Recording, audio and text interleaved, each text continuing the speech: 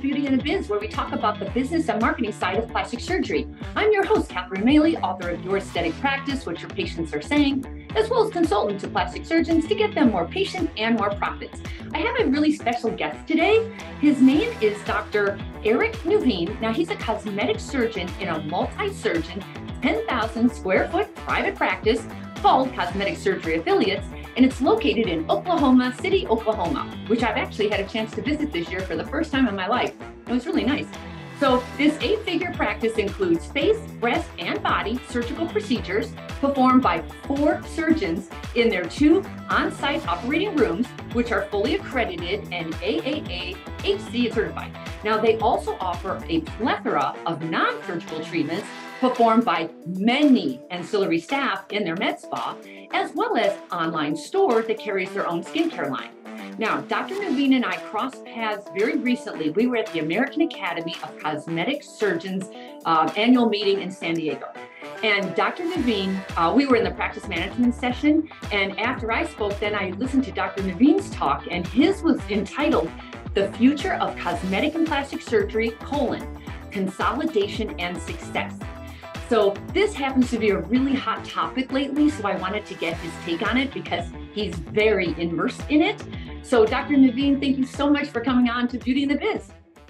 Oh, you're welcome. Thank you for having me. I appreciate it. It's a, an honor. It's always, uh, I don't know, maybe, maybe it's a point of retrospect and and uh, life, but to to hear the things that I've done is kind of weird to listen. It just, um, you know, I started off when I was six and always wanted to do uh, surgery. My father was an orthodontist and hmm. he uh, straightened teeth, and that was wonderful to change the perspective and often the self-esteem of often adolescents.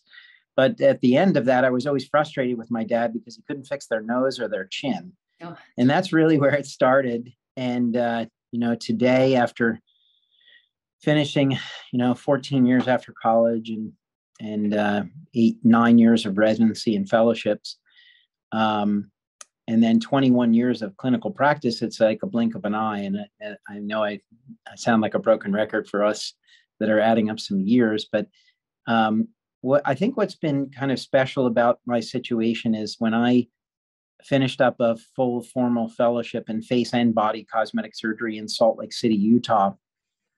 I had uh, also finished a year of craniofacial surgery at Toronto Sick Children's Hospital. So I had uh, a pretty unique uh, bunch of skills and also medical and dental degree uh, prior to I did a total of two years of general surgery. Um, so it was interesting because I I had uh, also along the way had taken a little time to fly some airplanes, and so I figured, well, gosh, how can I involve myself with a hobby, uh, with a skill uh, to help others, and to improve the standard of care throughout the country. And I, I, I take that statement very seriously. That was my objective, and it still is to this day to try to improve each and every day. And I hope when I do exit, uh, that it will be at the top of the game. And, and I'm always uh, looking forward to that because each day seems to be a better day. Oh, so, yeah, yeah. So I I finished my fellowship and I came to Oklahoma City. I picked Oklahoma City because the cost of living here was uh, very low and uh, the opportunity to start off day one in a 10,000 square foot facility that I purchased um, was not something I could do in downtown Manhattan or other major metropolitan areas. So I live about eight minutes from my office and 12 acres and nice countryside and quiet with coyotes and hawks and owls. And uh, it takes me 10 minutes to commute to see patients and it's just been a fantastic choice. Uh, it is the middle of the country, so fortunately, I get to use my airplane and go and visit the ocean often. And uh, so the uh, the practice really started there in Oklahoma City, and I took over a pre-existing doctor's practice. He was 71 and did exclusively breast surgery, and I saw an opportunity to expand that practice. And fortunately, um, uh, God willing, it uh, did. And so I uh, purchased that practice from an individual, kind of the old school method, a handshake, a, a gratitude, and pat on the back, and and there I started. And, and did, is were you in a different building? Yes, yeah. From, yeah. The, from so he was in a smaller facility and shared with a ophthalmologist, oculoplastic guy, Mm-hmm. And um, that relationship couldn't have lasted too long because I really needed to grow and I needed multiple operating rooms to do what I had set my heart to do. So my my plan from day one was uh, to come into the community, uh, meet all the other surgeons that did similar things, and and open the door for uh, growth. And ultimately, I I set the bar high. I wanted to be the most dominant practice in this region of the country, and I I think statistically we've been able to achieve that. Uh, I do about. Can I ask you something? Yeah. Mm-hmm. Um, out of curiosity, what exactly yeah. did you buy? Because what did he have that you wanted of value? Was that a shortcut to get into the community, or what? Yeah. Yeah, it's a great question. So, you know, there's an exchange in life, right? You know, mm-hmm. you you ask for, you have communication, you hope for a response, and in the relationship with the physician was this gentleman wanted to exit and I wanted to come in. Mm-hmm. And he had a patient flow volume of about 750 patients a year. Uh, he did a very high volume of breast augmentation and he was very consistent year in, year out. He didn't offer almost any other procedures. So I saw an opportunity there just in the patient flow volume to expand, and it did. So we sent out letters to 6,500 pre- previous patients and inform them of uh, our expanded services and an opportunity to meet with me. And so the first month I was in practice, I did 57 major surgeries and I've never slowed down. Nice. And did you two, like, were you feeding off of his credibility? Did he have to stay put for, for a while for the patients to get used to the transition, or how did that work? Yeah, that's that's a really variable answer if you're speaking to the general public on that topic because uh, it's all about personality, will, determination, uh, effort, uh, and I hope good counsel. Um, I, I, think that's an often overlooked commentary. Is uh, you, you need to don't don't do things foolishly because you think it's the right thing to do. There's been other people there before you, and you really should ask some good questions and don't be afraid to hear constructive criticism. Uh, it's it's very common to think that uh, doctors have done very well in school and that that translates into financial or good decision making, and it doesn't always. So we have to admit that first and foremost. Have the insight that uh, the others have been there, and let's get some good advice. So for in my situation, I was taking over a gentleman's practice who had done uh, almost 20 years of exclusively breast surgery. So he had a very long, proven statistical track record and I'm very data driven. So I did uh, a lot of spreadsheets and demographics, you know, cost of living, cost of employment, and the goals that I set for myself in my business, and kind of predicted in a business plan exactly what I thought would happen. And it's actually remarkable how close I was over a 20 year period to exactly what I predicted. It's actually freaky weird. I was off by less than $100,000 and in in all the categories, which is pretty pretty amazing actually. But did he stay put? Uh, like, did you two work together, or did he pretty much exit and you entered? Yeah, I I made a uh, a very thought out contract. There were some issues related to uh, his history that I needed to uh, insulate myself from and isolate myself from. So I did that legally, and uh, he worked about two hours and then he was released from that obligation and then i took it from there. And at that point i had come down two times during my fellowship met patients knew i was on good solid ground of communication and i was willing to take that gamble. So he exited immediately and i took it over from there. So um, again out of curiosity because these are the kinds of things people want to know about if yeah. you're taking over somebody's practice who might have um, some reputation issues or maybe some bad reviews do you how do you handle that? Do you just change the name and hope nobody notices or what do you do? Yeah you well, over his website with his seo of 20 years of rankings or how does that work? Yeah you know today's a different era. You know yeah. it's uh, 21 years down the down the road since then. But at that point uh, we did surveys. We sent out surveys to patients we asked local doctors because I did communicate with every other plastic surgeon here in Oklahoma City, not always to the most uh, welcome response. Uh, uh, but they gave me enough uh, ammunition, fuel, and, and energy to try to approach the challenges and also receive the benefit. And the benefit was just a phone number uh, and a website. And that statistical uh, demographic that was reaching out was very consistent. And even though there were negatives, and I, I have yet to meet a doctor in the country that didn't have a negative of some right. sort, right. Um, there are risks. And sometimes we take those calculated risks. And I, I think if we're, we're a wise uh, person, we're going to really investigate background checks, uh, histories, people they're cavorting with, their associations, their friends. Uh, it was my situation was abundantly clear. There were some significant challenges, and I have to say, if I uh, asked 10 of my colleagues, they might have questioned my judgment. But I just looked at the demographics.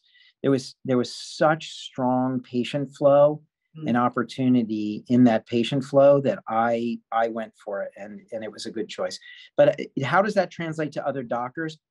Excellent background. Listen to others. Get experts. Get lawyers. Get accountants. Uh, you need to surround yourself by people you trust to the end I mean, like people you'd give your kidney to if they needed it. you, you really have to have that level of uh, faith because these people are giving guidance about your career. And to take it lightly is a fool's errand for sure. What would you say is one of the biggest mistakes made that now you look at back at now and say, gosh, I wish I had avoided that one? Mm.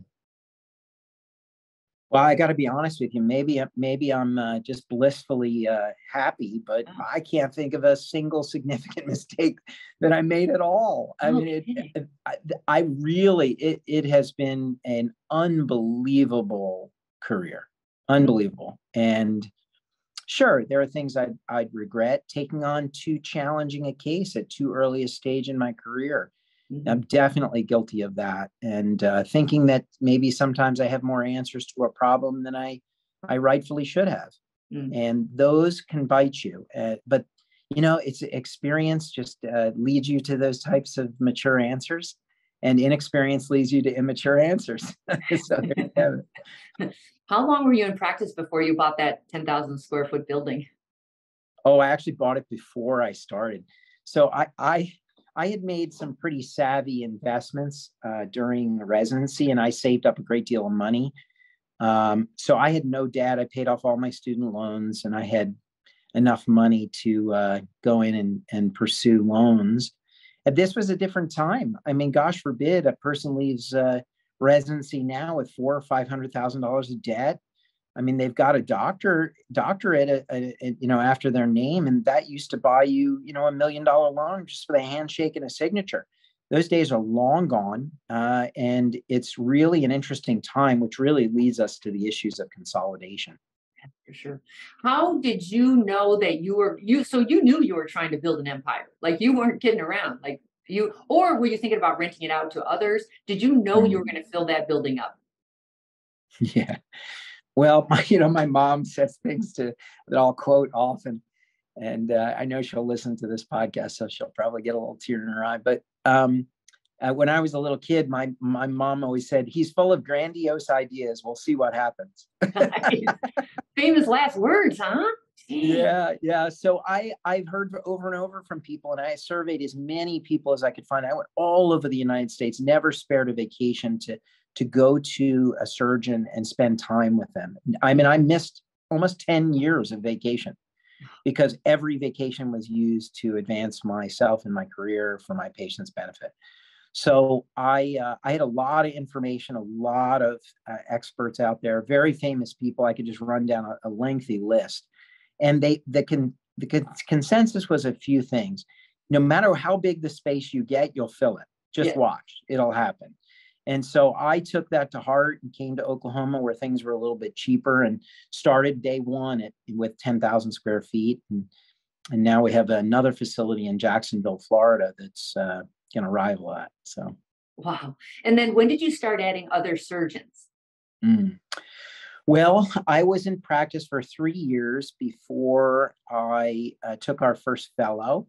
And so I would count that as my first uh, experiment with having another full time doctor with me. And that was a great experience. And so I've had uh, 15 fellows now. We have one every six months now. Uh, those fellows are all over the country from Seattle to Scottsdale to Park City and down in Florida. And so that's been a great journey. I, I would say that is a really nice way to bridge the gap from independent practice to um, developing physician relation skills. Mm-hmm. Um, when you're isolated in a practice, there are um, some strengths that come from that autonomy, but also some weaknesses that develop. And that dictatorial, uh, unilateral approach to decision making can be a very challenging problem in, in various social arenas. So I would attribute that first step of growth to fellowship training and um, devoting oneself to the education and betterment of someone else is, is a is a really true altruistic art. Mm-hmm. Uh, so I would say there. Now my first associate was 2007. So I was in practice four years and took on a gentleman for two years. We knew his pathway was to leave, but we were fortunate to have him for two years, and that gave me another stepping stone towards uh, longer term relationships. And I, am still learning to this day. I don't have all the answers.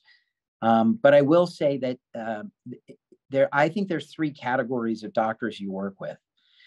There's a doctor who's very skilled, very capable, and very good, and is just trying to bridge that gap of independent practice from residency, for example. And they're strong enough and good enough that they're going to try to fight it and do, do it themselves. Some of those doctors will see value in associating with another doctor, and others will not because they are so capable and skilled. Uh, that's one type of doctor. And they take a different approach and a different mentality and a different uh, communication style. Uh, the next doctor is a, a, doctor is completely on the other end of the spectrum, and that's a doctor who doesn't want to own anything, doesn't want to run anything, and just wants to show up. Mm-hmm. And they literally don't want to manage. Even the thought of management is it just makes them almost sick to their stomach.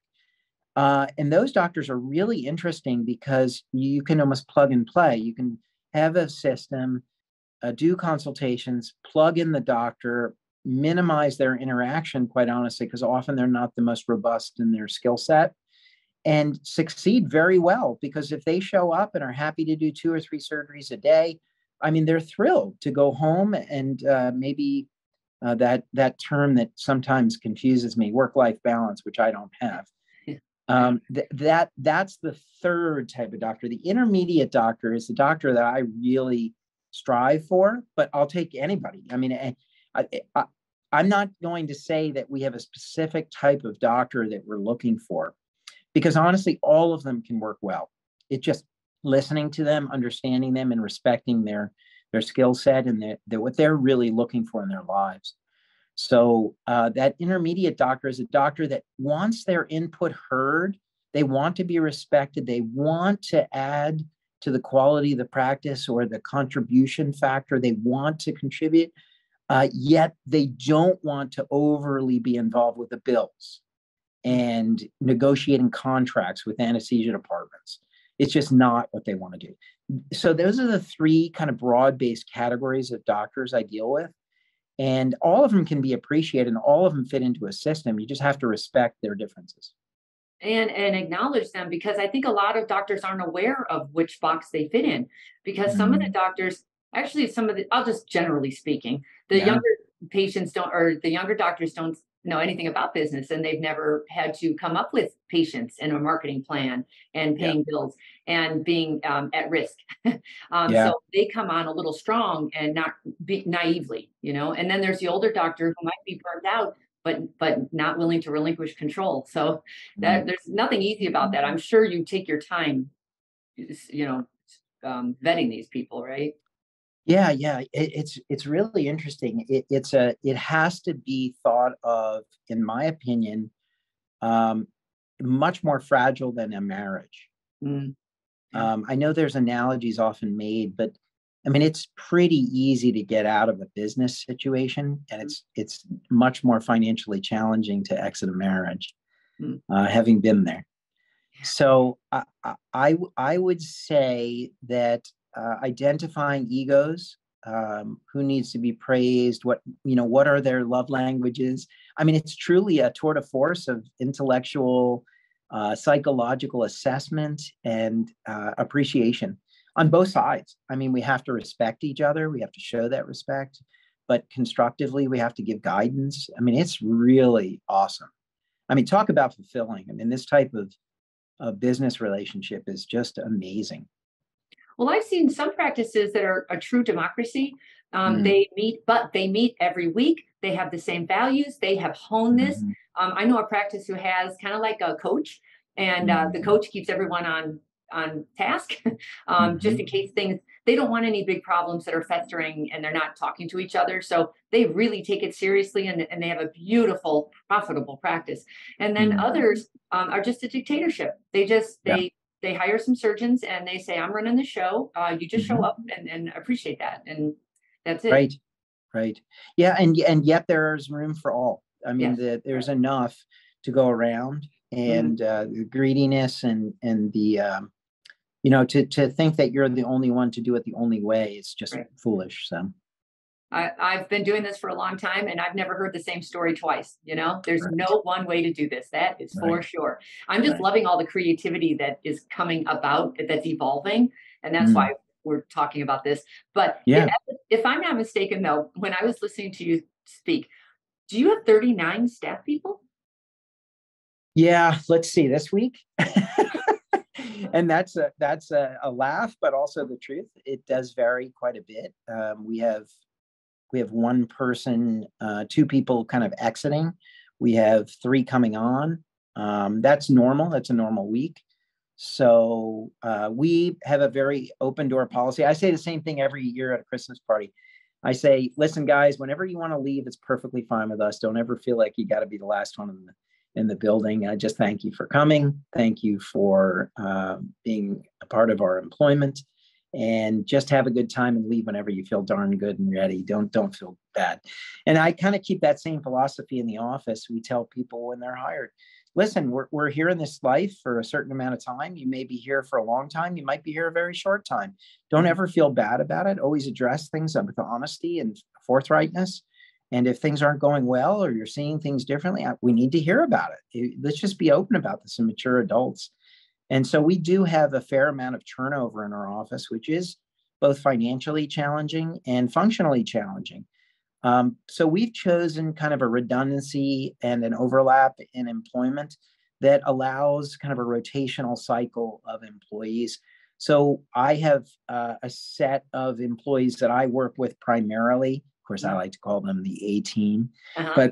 but they're really just a, a, group that that has uh, palled around with me, knows my habits, knows my mannerisms, and we work really well together. So we work together three days a week. We, we typically do 12 hours a day, three days a week, and we start at 6:30, and uh, yeah, usually finish around 7:30, 8 o'clock at night. And no, I take no lunch uh, so talking about work-life balance, yeah, I'm not the model of that. Um, I love my work, love my work. I make no excuses about it. I am no balance whatsoever. Work, work, work, because I love work, and I figure I want to work, and if I die at work, that's okay with me. Okay, good attitude. Um, do you? Hopefully, you give them lunch, right? Yes, yes, as what's required. But I it's so funny because you know, people of personality types, they tend to congregate. We like to hang around with each other. And, you know, we have a certain type of humor and we have a certain type of music we listen to. And it tends to be that these young ladies work their living butts off because they love that I do. Nice. So eh, we're all, it's like a, a bunch of pigs in mud. I mean, we all love rolling around in it. So they take very little lunch, often don't take lunch. They'll snack on something. They kind of mope about it, but they also are kind of proud about it. And mm-hmm. so my little set team is uh, they're amazing, and I'm very happy for it. But we're just one small part of the big group. We have a we have a big administrative group. We have a very big uh, uh, IT division, which I mean, I I could just talk for hours about just our 13 different IT groups that we work with. It's craziness. And are you planning? Do you go for um, patients all over Oklahoma, all over the nation, all over the world. Well, where where are you going with that? Where I mean, are all these like the, those breast augs? Was he getting all those just in Oklahoma City? Yeah, yeah. The uh, so the, my predecessor, the person I purchased the practice from, was was a, a, a, very unique individual. He decided to basically do the Walmart service. So okay. he did, it was $2,800 cash, breast augs, uh, saline only, cash only. Uh, and he did four a day, five days a week. So that's not a bad business model. No, no, he did very well mm-hmm. financially. Mm-hmm. Um, you know, there, there were some um, unscrupulous uh, issues and there were some some financial uh, mi- misappropriations that uh, occurred. Well, that, the cash uh, only probably was a hint there. Yeah. Yeah, yeah, yeah. So um, anyway, but we don't run our our business like that. So our our business is, you know, absolutely to a T run properly, and and uh, so what is our recruitment? Honestly, we try to focus on the central, mid central United States. Uh, we do get patients, word of mouth, friends, et cetera, that come from all over the country. We have a very large military presence here in Oklahoma. So we have a lot of people that relocate to Japan, Germany, Italy. Um, those are the big ones, and uh, all over the United States to different military bases. So um, that is, uh, has been a big area of uh, contribution to the practice success. Um, but really, I think it's been 21 years of of uh, tremendous service and being available to the patients. I so 21 years ago, I made my own website. Mm. I did it over Thanksgiving weekend. It cost me 25 cents. Nice. And I started something I'd never heard of, and I did made an online form entry, and completely there was no HIPAA, and so uh, they just sent me pictures, and so I was getting you know pictures of people body parts from all over the country all the time, and I was inundated. So I had never heard of anybody ever doing this before, and uh, you know, of course, things have advanced to all the encryption and HIPAA policies, and now almost everybody has an online form entry system. Mm-hmm. Um, but you know, 21 years ago, it was unheard of. I certainly never heard of it. Oh, that was a big deal 21 years ago. Good for you.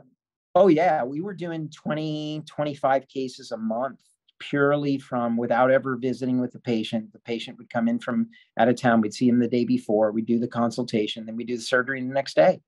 So yeah, it was just. Uh, I have to say that that concept came from a, another doctor who I met in Connecticut, and he was doing that for wisdom teeth removal, and just inundated. And I thought, hell, why not try that in our business? And sure enough, it uh, was a, a tremendous boost that's how I've grown my own business. I always um, looked at all the other industries and I said, how can I adapt that to our industry here? And it's all, y- y- all you have to do is be a little creative and say, how can we do that here? And right. Yeah. Um, right. Now, uh, you also have an online store, a skincare line. You have your own mm-hmm. skincare line with an online yeah. store where they can shop. I'm always curious about that. Is it a good profit center? Is it a pain in the neck? Who's doing the fulfillment? you know, I never, I, I'm not a fan, but but it, does it work? I mean, yeah.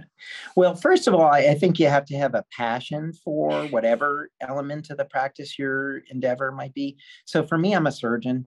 I do surgery morning, noon, and night. I hire people that have passions for things that I don't have a passion for. So I have an esthetician that does all the aesthetic services. I have two nurse practitioners that primarily do uh, non-surgical things and supervise my clinics. I have a skincare person that deals with most of the retail services. Um, is it a profit center? Sure, it makes a profit. You know, I mean, it's probably 50% margins on everything we sell, but you know, as far as a comparative, I mean, just to use real numbers, and I hope that's okay. I'm always very transparent about about the practice. You know, selling ten thousand dollars a month of skincare products is, you know, that's five thousand dollars of profit. Mm-hmm. That's pretty darn good for buying hamburgers and shoes for your kids. I'm okay with that as long as you don't lose focus on the big ticket items.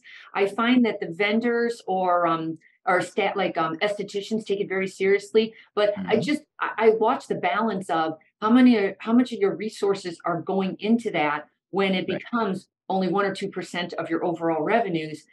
Could that money have been made easier or elsewhere or that, that's my only comment there you have yeah, yeah it's a, very, it's a very good point and you know some of the consulting services will focus on the quote the the money left on the table right, right. that's the right. the common statement well you're leaving money on the table right. i mean that's a term that i just want to choke people out for because you're absolutely right if you have no passion for it if you have no business doing it please don't do it Yeah. You're going to waste energy, time, frustration, managerial nightmares, legal liability. I mean, I could go on and on.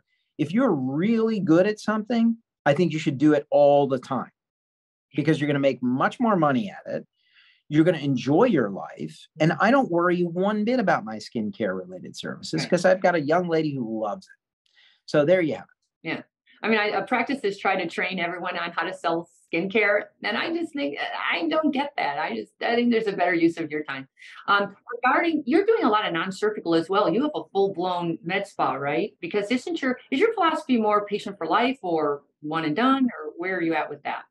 Yeah, yeah, God, uh, you know, Eh, so right now, I my practice and I as ninety plus 90% of the overall surgical volume.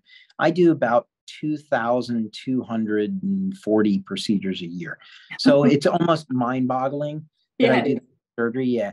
And so I, my focus is all there. So, but what would be ideal if I were to step back and walk into this office as a businessman, which I like to do mentally, mm. I would look at the colors, I would look at the smells, I would look at how I'm greeted, I would see what what the door presentation is. I would want to hear the music on the speakers and, you know, is there a TV on and what's playing on it and what's being presented? Are there menus of services? What are the services that this offer, mm-hmm. that this office offers?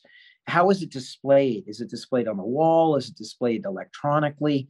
All, all of these things that would go through my mind if I walked to the office. And it's interesting because even though I, I suppose I'm in the position of CEO, I don't fulfill all of those things that I've just told you. Mm. There's always room for improvement. There's uh, and that's undyingly interesting to me that there's always room uh, for a person's improvement and the practice improvement. Now, if I were to say in a more ideal situation for so I do about 90 major facelifts and facial restorations a year. Um, in if I could ideally play out for you what I'd like to have, I'd like to have an introduction I'd like to have uh, a credentialing period. I'd like to discuss their goals. I'd like to hear from them for 10 or 15 minutes. I'd like to uh, evaluate them and like to give recommendations based on their goals. Now, a quote is rendered, but I'd also like them to meet with an esthetician because as part of the comprehensive care of this patient is not only preoperative preparation for it in many cases like laser skin resurfacing, but the postoperative maintenance it, it is a really important integral part of, of ideal patient care. So it's not just a surgeon comes in, cuts, walks out of the room, and never sees the patient again. That would be the, the most curt method of maybe managing the patient. But really, ideally, that's what I'd like to have. Do I fulfill that each and every day? No, I don't. I, I think if I were to walk in as a consultant, I would say, boy, you really need to kind of systematize mm-hmm. that process each and every day to have that integration that I think is more ideal.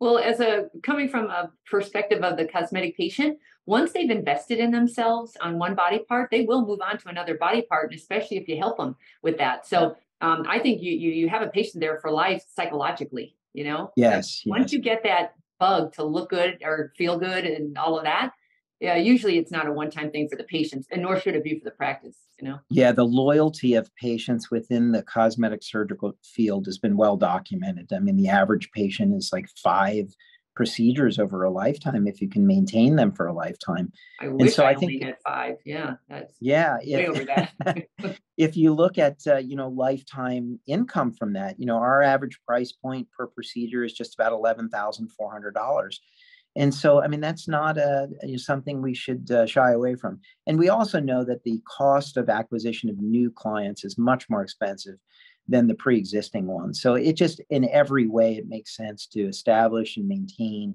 an ideal relationship. But it really starts from from uh, the moment you meet them, being very direct, very honest, very very open, and uh, also expressing limitations. Just being a human. I mean sometimes patients forget that just uh, because you went to school for a long time, you don't have all the answers. And reminding them that, that humbly, I think, is really important.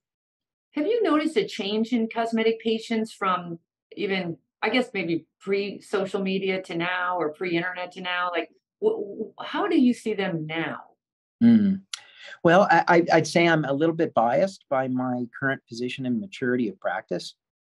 Um, probably 55, 60% of my patients, maybe even slightly higher, are previous patients. Nice. So that's that's uh, it biases me because they already know me, they already trust me. They, you know, their daughter, their aunt, and their grandma came, and so that's a that's a no brainer. You should seal that deal. That should be pretty easy.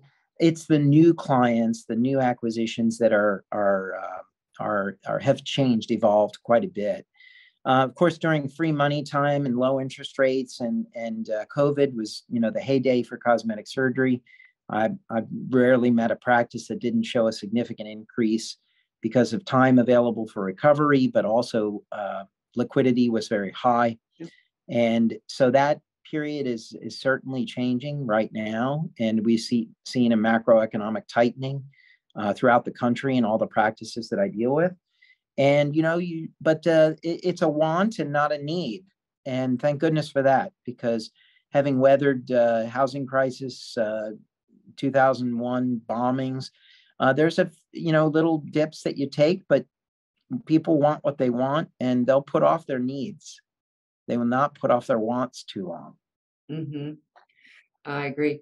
Um, so I want to switch gears a little bit because sure. you've grown this incredible empire. And then I want to talk about the talk that you gave about the future of cosmetic and plastic surgery and the consolidation. So can you go ahead and, and can you just almost give like a brief talk of what your sure. talk was? Sure. Well, thank thank you for for listening to the talk. I appreciate it. So, um, five years ago, I uh, sat down and I thought, you know, I'm not getting any younger my practice has become a, a behemoth and it would be very difficult to sell the practice to an individual for what it's valued uh, or what I'm told its value is. And so I was really struggling with that. So I thought, well, maybe I could fractionate it, break it down to uh, shares, and maybe five doctors could split it up, and that would bring me some revenue towards a, uh, an exit. But honestly, it still wasn't anywhere near what the actual cash flow and ongoing value of the practice was. So I got really frustrated with that, and I I can I um, spoke and met with a lot of people from many different industries, auto industries, uh, tech industries, um, all over. As many people as would listen to me, and so my my grandma always said, if you want to want to learn something, just call. And so I called CEOs from every website I could find. It's amazing how many of them were interested to spend just five minutes with me and tell me about uh, you know, it was like I was a kid in, in high school asking on a school project. And so I learned and learned and learned. And I realized that where the value in the future of uh, our field, in my opinion, is in reducing redundancy. That was really the central theme. If you think about every garage you drive by in the United States and it's open in the summer, you'd see a weed whacker and a lawnmower and a trimmer.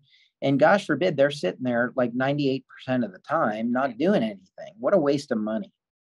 When one community could very well buy a set of lawn, a lawnmower, a trimmer, and rotate it throughout the community.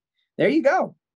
Perfect great idea. Yeah. Yeah. And in, yeah. And in our business, that's exactly what we do. Almost every small boutique type practice uh, has an office manager, maybe a person in charge of social media, a front desk girl, and an accountant, and you know maybe that's the size that they're they're comfortable with. But my practice had grown so big that I had I have you know five departments. I've got department heads in each department, and then subordinates within those departments, and we have department meetings, and you know it's all very corporatized, and just everything was just going that way so the more information I got, the more I realized that I could very, quite honestly, I could very easily just go to a, Uh, a private equity consolidated group and just sell my practice. But what I did was I looked at all the available options, and there were very few, and still are very few actually, that have gotten to a point of consolidation. And I realized there were a few significant weaknesses, and I spent almost 2,000 hours. That's no exaggeration, by the way. 2,000 hours. I documented all of it. I during residency, I was very obsessive, so I documented every hour I ever did during residency, and so I have that all written down. So I figured, you know, I got to keep this up. So I documented all the time I spent on the phone at conferences, at meetings uh, with private equity groups, and uh, I learned a great deal. And what I learned was uh, the private equity groups uh, often contributing some form of financing. So they consistently wanted to take plastic elective surgery and shoehorn it into the models that they knew. And those models were gastroenterology, ophthalmology, dermatology, insurance based accounts receivable, um, their due diligence process was very far into a cash-based system. They didn't even understand that we were prepaid for surgery, you know, a month in advance. It was just, whoa, where's your accounts receivable? And there's no accounts receivable. They, yeah, yeah, none ever. So I had, I was really like walking into these people that I felt I was the ignorant one, but they had absolutely no understanding of what I was talking about. So it was actually, I saw that as a great opportunity to I mean, I always love somebody who's willing to listen to me. so um, I had a great time kind of going through so many different groups, speaking to different levels, all the way up to CEOs of these private equity companies, and just hearing what was pleasing to them and what they were scared of. Mm. What are and they that, scared of? Oh my gosh. I mean, the list could be very long. Uh, key operator dependency issues. You know, if there's only one doctor in a practice, how can you show me on a, on a cash based system that your 90 day and 120 day revenues are going to be there? When I'm used to waiting for accounts receivable for 120 days. So they, they wanted security you know and, and they want predictable always, revenues and yeah, how do you say that in our industry you know that's right and all you can do is say well i've been in business 21 years and it's gone pretty well yeah. right. So I just kept on telling him that. Listen, look at the books, look at the data, look at the the, the cash system is, you know, a 40 to 60% profit margin. Mm-hmm. You guys are arguing over 13 to 17% in dentistry. I mean, it makes no sense to me at all that you're wasting all this time with dentistry when you've got a cash cow right down the street. I mean, it, it just over and over again. And then one day I got a call back from one of the CEOs and I was in the Atlanta airport at the time, returning from a, a meeting with another private equity group. And he said, Erik, we like what you've been saying. We've been really talking about it, and we want to meet with you and your group. So that was, I mean, I, I almost cried. I'm telling you, my hair stood up in my arms. I was like, yes. and uh, finally, it took me four years to hear that type of response that I was hoping for and you know speed ahead and the tides are turning there's certainly a tipping point um, of familiarity understanding and acceptance. Uh, and the world of cosmetic elective plastic surgery is filled with uh, people that make a great deal of money compared to the average person and they're very autonomous. And this is a, a, a, a, a, tide that's going to take a long time uh, but that's okay we're we're in this for the long haul. This is a 10 year project. This is not a one year project. This is a 10 year project. And I really came up with that idea with a lot of my buddies in construction. And when they look at a thousand acre plot, they're not thinking about you know one year. They're thinking about 10 years and building schools, community parks, uh, restaurants, everything that's a part of urban development. And I just thought that's that's the kind of approach I want to have in this industry is a 10 year plan. So uh, really that led me to some partners with some colleagues I've known for 25 plus years, all of them. Surgeons have, or business people? Yeah, these are all uh, other surgeons that oh. have been oh. extremely, you'd know all their names if okay. I mentioned them, but I won't mention them because they didn't give me approval right. to do so. But um, they're very well-known people that uh, you would know immediately and uh, people that after conversations just like we're having came to the realization that um, the future is very strong when you consolidate.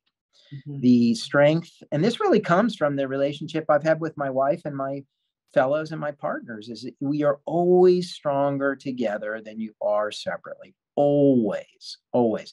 And once people get that mentality shift accepted, they go, ah, I get it. So we can have one accountant for the entire system. That's one cost.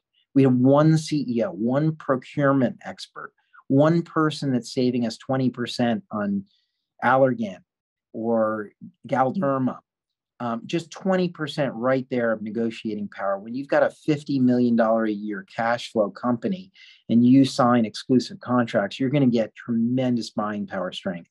And it, it's just over and over again. I could go on and on, but I, I hope that's exciting for the viewership. And are you consolidating the HR, the hiring, the managing? Because I find um, the surgeons, the number one challenge is staff. They they mm-hmm. are so, especially after post COVID, they're so done with staff. Like they're, yeah. uh, you know, is does it include that? Because I can see a lot of practices thinking, oh my God, if I could get this off my plate and get back to doing mm-hmm. what I like to do, which is surgery, yeah. I'd yeah. be a happy clam right now, and I'm and I'm not. Yeah, yeah, that's exactly the type of uh, person that uh, we're looking for. Um, and you know, to try to make this segue a little bit, uh, the goal is to have 50 practices that are like-minded, utilizing a centralized uh, call center, centralized HR, centralized procurement, uh, the buying power of you know a 150 million dollar a year company is uh, just puts you into a totally different league. Right. Um, we want doctors to maintain autonomy if they want to. So we offer a number of different avenues to try to become partners, and it has to be a partnership. Uh, there are people that just want an exit plan, and we provide that exit plan. Uh, there are people that want administrative roles and responsibilities. There are people that want equity in an ongoing and very rapidly growing corporation uh, that pays dividends. And so uh, we have avenues for all those different types of people, and we have avenues for people that just want to show up and work. Um, I have a couple of people right now that so we're constantly interviewing, we're constantly evaluating practices, and you always learn something from that those those uh, communications. Are you involving private equity, or is this a physician-led consolidation? Yeah, actually, the answer is yes and yes.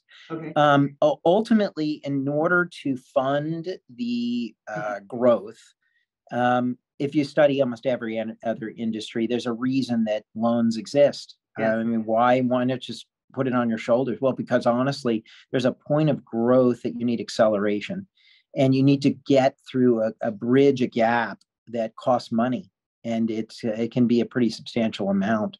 So the initial phase of development is a minority partnership with uh, private equity where we maintain 80 plus percent of ownership and all decision making rights, um, exclusive of a few constraints uh, with utilization of funds uh, that are appropriate to any financial term, to any company.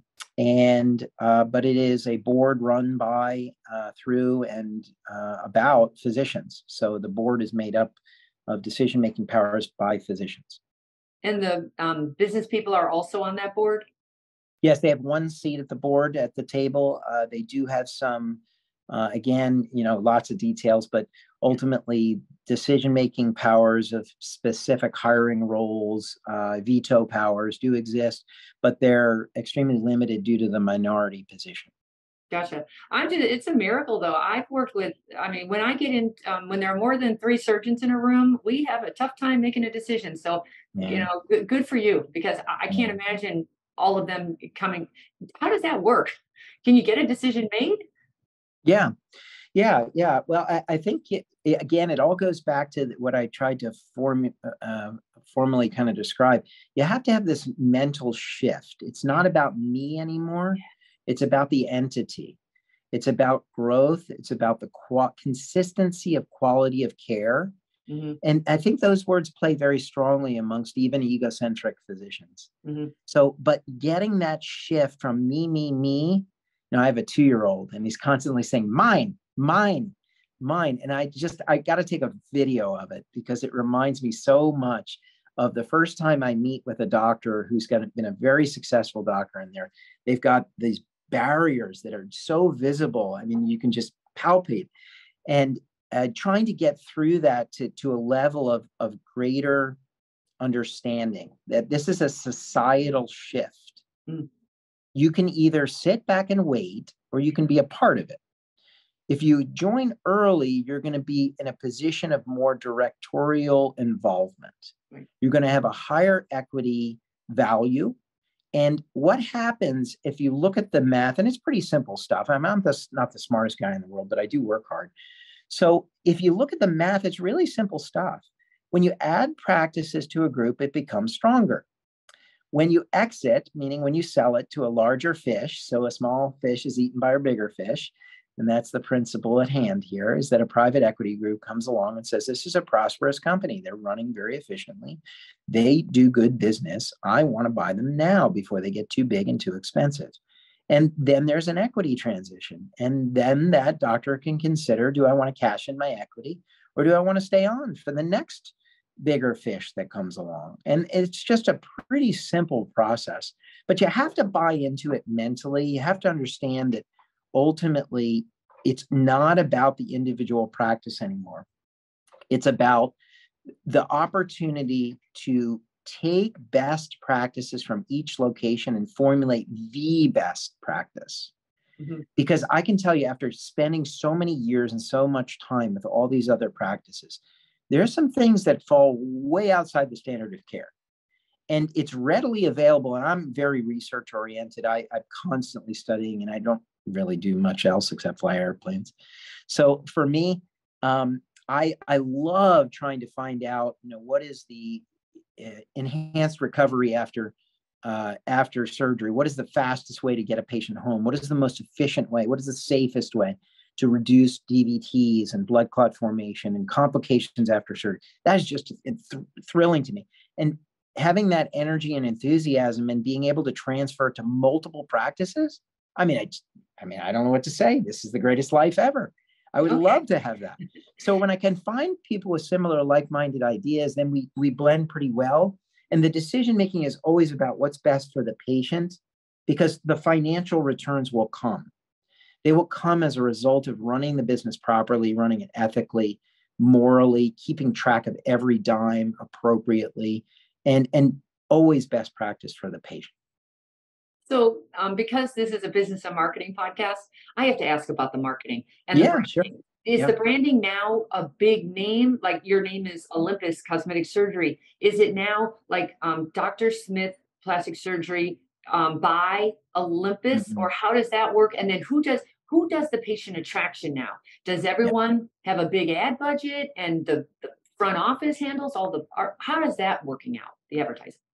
Yeah, well, it, it's uh, always evolving. Um, yeah. The current situation is that all the practices are independent, but we're consolidating our services. Gotcha. Now, I, I do view in that 10 year time plan that I've told you mm-hmm. that there will be a central theme, a central title, a, a central logo. Um, we have our subgroup, we have our website related to Olympus Cosmetic Surgery Group. But It's really in the stages for information for uh, mm. future acquisitions or partners to find us. So it's not a centralized advertising platform. It will be. Uh, there's no question that's inevitable. But right now, in each individual location, we're trying to find the most successful practices, and they're successful for a reason because mm-hmm. they've proven their method successful in their region. So if they're dominating, we don't want to rock the boat and dislodge that that dominance from that area just because we think we know better. Right. Yeah. Okay, that's a good idea. Um, you know what? I want to wrap it up now. I normally yeah. I'm afraid to ask, you know, because I like I usually like to ask, um, tell us something we don't know about you. So if you can't say that you fly planes, because we already know that, um, what what's another one? Because I'm you are a very interesting person. well, I don't know. I appreciate that. Um, well, gosh, um, I would say uh, if I were to to say the thing that that uh, you know, I, I I say it all the time. I'm not not the smartest guy in the world, but I do work my ass off, and I mean that at a much deeper level than I'm I'm I'm admitting. Uh, I I think that the interest and the passion that I have for studying humanity mm-hmm. is is unparalleled. I absolutely love every moment of this life. And when I go, it'll be just fine with me because I've lived a full and complete one. But just the, the interactions between the highly intelligent people, mm-hmm. investment bankers, a private equity group leaders. I mean, these people, if I were a little kid and somebody said someday you're going to be hanging out with all these people that went to the best schools in the country and were top of their class in every way, and you're hanging out with them and you're doing pretty well, I'd say no way, you know. So it just the, the passion has is there for me, and um, I, I would just say if if I could surround myself with people with equal or similar passion, as I know you have in your field. I mean, gosh, I've I've known you for like 25 years, I think. So yeah, so I needed to yeah. be in this field to hang in there. Yeah. Yeah. Yeah. And so you have to have that undying, never say die, never quit passion that is is is palpable. So other know others know it. And and I somehow have been blessed with that gift. So thank you for allowing me to say that. Congratulations. And thank you for your father for being an orthodontist. I had braces a million years ago and I'm so grateful. It was a life changer. Looking back it now, is. if I hadn't had braces, oh my gosh, i would be a different story, you know? Yeah. Um, yeah. So, um, Dr. Nuveen, how can people get a hold of you? I'm sure there's plenty of uh, surgeons who are interested in your business model. It's very yeah. unique. And I, and I find it's very, um, um, multifaceted. It seems like it, you don't have a, a, process in ink right now. It's a moldable, flexible, uh, fluid process because you're evolving, right? Yeah, I, I, that's a good way to look at it. There are some uh, rigid elements that you mm-hmm. can't veer from due to the relationships, mm-hmm. um, but we're always learning, and it, we got to have that attitude. I mean, if you look at some of the other groups that have uh, attempted to go down this pathway, they've really had some terrible problems.